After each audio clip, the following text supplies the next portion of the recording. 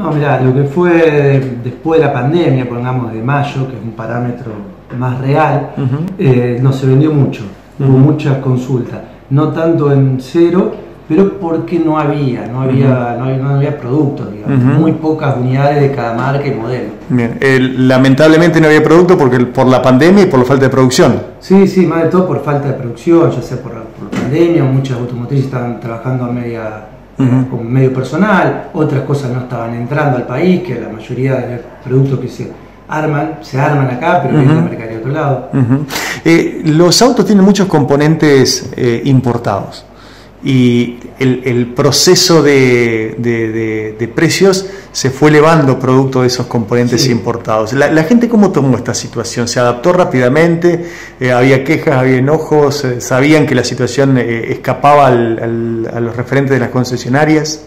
Sí, no, no, ya entienden que uno no tiene la culpa, ojalá podría estar todo el mismo precio siempre, pero bueno, también entendieron y por, por los comentarios y la experiencia que yo tengo acá, muchos clientes o que tenían en plazo fijo o algún ahorrito, algo en dólares, veía que el ahorro les servía cada vez menos y los vehículos venían aumentando, el cero venía aumentando un 5% mensual. Entonces era un buen capital para invertir.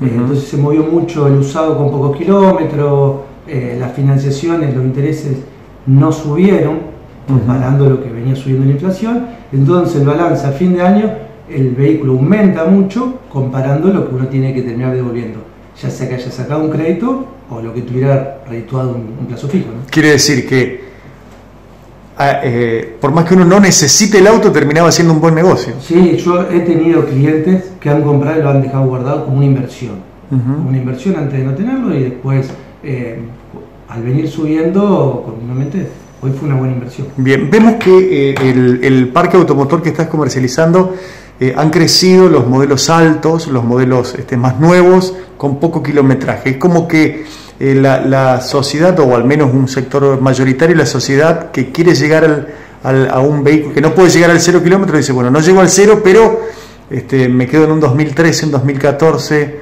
un 2015, que, que esté bien. Sí, sí, yo por ahí acá, aquí apunta acá concesionario, eh, no todos son muy iguales y bueno, también a lo que está al alcance de uno. Siempre yo, en lo personal, trato de ir mejorando la calidad de vehículo bueno, en lo que se pueda. Sí, lo que yo trato de apuntar siempre es un vehículo más allá del modelo que sea bueno, que no tenga que salir acá y llevarlo a hacer cosas al mecánico, que lo pueda usar y disfrutar sobre todo. Bien, eh, es muy exigente el San Carlino en el momento de comprar auto, digo, eh, se lo pide, te, lo pide, lo voy a llevar a mi mecánico de confianza, lo voy a llevar a un amigo que conoce, eh, ¿es así o, compramos con los ojos cerrados? No, es así. Bueno, tengo clientes de confianza que yo, porque yo vendía ya antes, ya directamente y si no, yo lo que recomiendo todo el usado que lo lleven de su mecánico. Bien. casi que los, obligo. Bien. Eh, Te da una tranquilidad a vos sí, también. Sí, a los dos. Y, a su vez, el San Carlino es de quién era y cuántos kilómetros tiene. Arrancan de ahí, después ven el color, el precio. Pero si somos exigentes, todo. Bien, La zona es así. También es cierto que al ser muy cuidado la gente de acá, mucha gente de afuera viene a comprar acá. Claro, y también al, estar en una comunidad chica ya sabemos de quién es el vehículo, entonces vamos por tal vehículo sabiendo que lo llevó a determinada concesionaria. Sí, sí, sí, sí, inclusive muchas veces no te lo dicen, pero después te terminas enterando, eh, que terminan preguntándole al ex dueño, que me parece muy bien, es una, buena opción. Bien. Mauri, y en cuanto a los autos nuevos, ¿cuál fue el auto de mayor, de mayor salida en el 2020? Y el que más salió fue el Cronos. Pero yo sostengo en lo personal que fue una cuestión de porque lo producían acá en Córdoba y no hubo, no hubo problema de abastecimiento. Siempre Bien, hubo. siempre hubo. Después de lo otro hubo menores cantidades. Bien, y para este 2021, este, digo, hay una marca que la gente elija este, mayoritariamente, no sé, en un momento hace mil años, el Duna era, después fue el Corsa como el vehículo batallador, después fue el Gol, este, ¿hay, ¿Hay algún vehículo icónico hoy? Digo, porque es tan cambiante el mercado. Sí, sí, lo que pasa es que en realidad son los mismos de siempre que van mejorando. Desde el Corsa después pasó a ser tal vez un Naveo, del Naveo pasó a ser el Prisma Onix, eh, lo que era el Siena, Gran Siena ahora quedó como el Cronos. Van, las marcas van mejorando. Sí, no es lo mismo un auto base, como se le llamaba antes, que hoy. Hoy un auto de inicio de gama delante de cristales y recentralizado, ya es completo. Bien. Eh, pero sí, es el auto medio. Bien, y dentro del 2021, digo, cuando mirás la revista y decís, Este auto me parece que, en el 2021 va, va, a marcar una tendencia. ¿Cuál, cuál, ¿Con cuál te quedas? No, hay, hay de todo. Hay, hay un poco lo que es la línea Onix, cambiaron todos los modelos. Bueno, ya el año pasado estuvo, el Crono volvió a salir, el Gold Tren, bueno, sigue manteniendo la forma. Y después, bueno, distinta gama, lo que es Cruz, eh, tener el Citroën de la Cactus, tener, hay varios. Bien, ¿cuál es el vehículo usado que lo pones en la, en la vidriera y se vende al otro día? Y hoy, por la demanda que había, todos los que estén buenos. no, no, era, no importaba la marca. No, no, no, no. La calidad, bueno, el estado, y después depende de cada bolsillo también, porque por ahí hay autos, hoy un 0 kilómetro en hablar de un millón doscientos en adelante.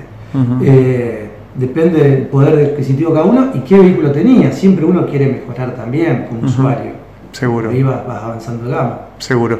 Bueno, eh, eh, ¿te tomas unos días o la concesionaria va a permanecer abierta? Mira, por ahora no lo tengo decidido, calculo que sí, pero no sé si es ahora fin de, de enero, no es algo que lo tengo muy, muy claro, pero sí, en una semana pero voy a estar avisando, siempre por Instagram. Bien, eh, vemos que el parque, digo, se ha renovado. Este, ¿Es cierto eso de la consulta no nos molesta del, vendedor? O, este, digo, porque hay alguna gente que dice, yo ya fui dos, tres veces a pedirle precio y no me definí. Este, el objetivo es este, preguntar, ¿no? No, si es un rubro que, que cada uno que quiere normalmente va a todas las concesionarias de San Carlos, que todos estamos trabajando bien y, o también afuera, es una opción.